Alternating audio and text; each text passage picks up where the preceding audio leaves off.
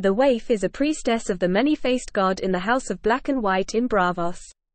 The waif is assigned to teach Arya the tongue of Braavos and then how to detect lies.